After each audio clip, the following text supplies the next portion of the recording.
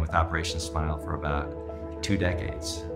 Here, as a volunteer, I'm an anesthesiologist who is attempting to, to share uh, whatever knowledge I can with uh, anesthetists who are based here.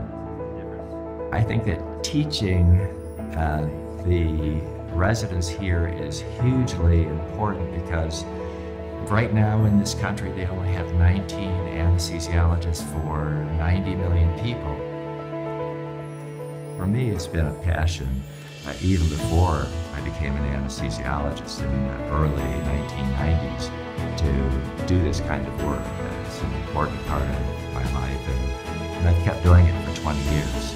I'm George Politis from Charlottesville, Virginia, United States of America. I am Operation Smile.